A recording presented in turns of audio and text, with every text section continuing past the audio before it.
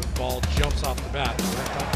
And that one jumps off the bat in the left field. It's gone.